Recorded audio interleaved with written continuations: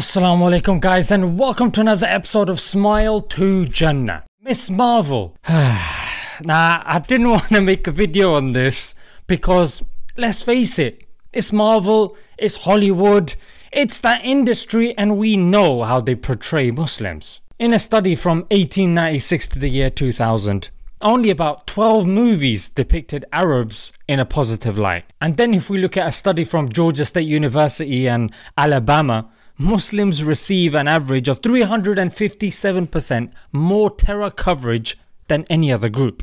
In fact, between 2006 to 2015, Muslims only accounted for 12.5% of terrorist attacks but received half of the news coverage. So that's one of the few things that white people have done and haven't taken credit for.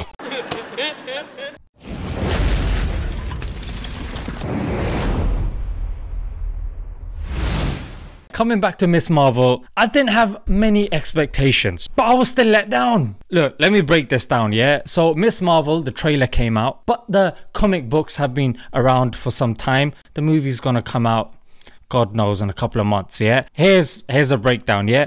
She comes from strict religious parents. Okay, look at the father. Yep, bearded guy, very stern. And there you can see the brother, also with a beard. Yes, doesn't look very happy, does he? Nope, it's the typical angry, bearded, religious bloke stereotype. She's got this obsession for pigs. Yeah, look, here she's drawing them in a book then there she's got it hung up in her room. I mean, if they're not taking a mick with this, I don't know what they're doing. And of course, she sneaks out to parties. She fancies boys, just like you've got uh, westernized women that fancying boys with six packs and a clean shave. Oh, yeah, well, she does exactly the same thing. She idolizes her three white superheroes. You've got Captain America, you've got Iron Man, and you've got Captain Marvel. Of course, she wants to be like Captain Marvel. She doesn't wear the hijab.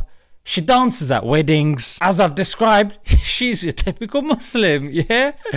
No, no, of course not. And oh yeah, it's written by Muslims. Yeah, so you can't blame Marvel. They've got themselves covered in that regard.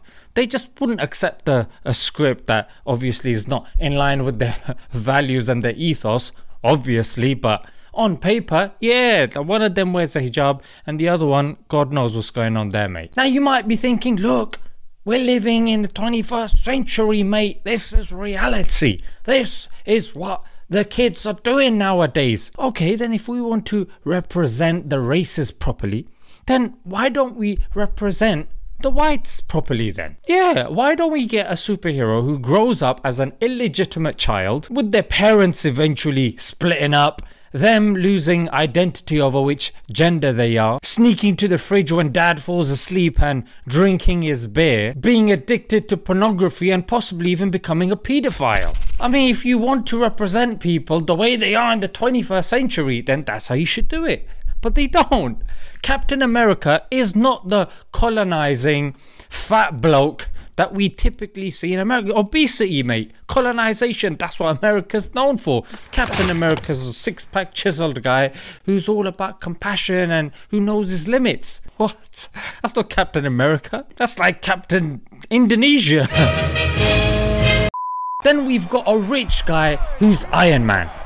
No, they, they don't mention about him having offshore accounts through which he funnels his money, you know, evades paying tax. He has bigoted views on minorities, and he spends most of his time lobbying governments, paying for strippers, and dying alone. Lol. I mean, that's that's the real representation of a rich white guy that works in your stocks and shares or whatever. Kind of re- redefining yourself, finding finding who you are based on your own terms and not listening to other other people's um, definitions of the labels and categories that you belong to.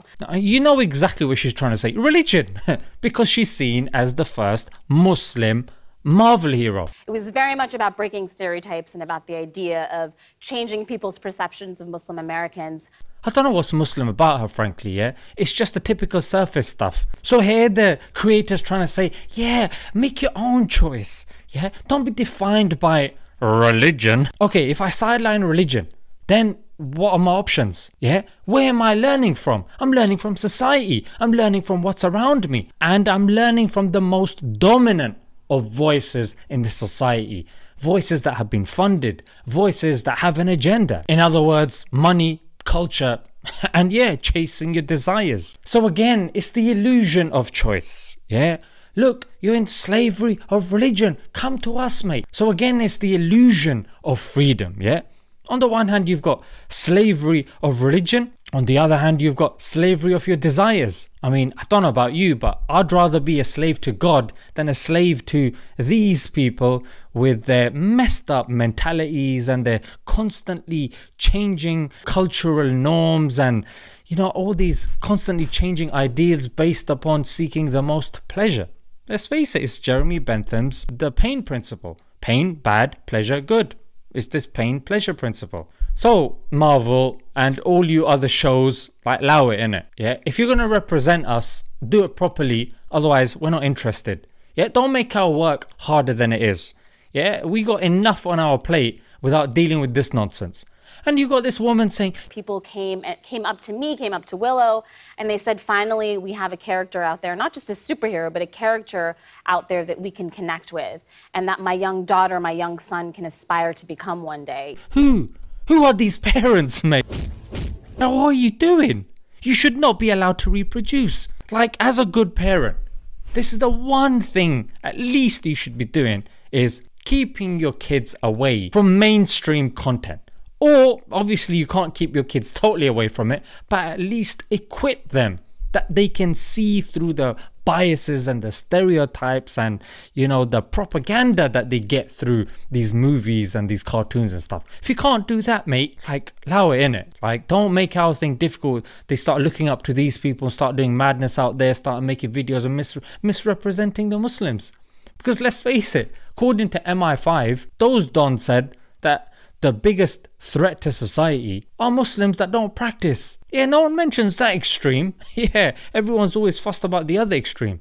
These people that are actually doing the foolishness, yeah, in the, the Paris attacks, one of the Dons bought a book called Dummy's Guide to Islam. Two of the attackers, the Abdeslam brothers, sold a bar they owned in Belgium six weeks before they went on their murderous rampage in France. Then there's the two British guys who went off to fight in Syria and who ordered two books off Amazon before they left, and they weren't the Holy Quran or the collected sayings of the Prophet Muhammad. They were Islam for dummies and the Quran for dummies. The Donny didn't even know about Islam, mate. He sold his bar and then went to Paris and did some madness there. Flipping heck, mate. Like, give me a break. Alright, guys, let's leave it there. Until next time. Assalamu alaikum.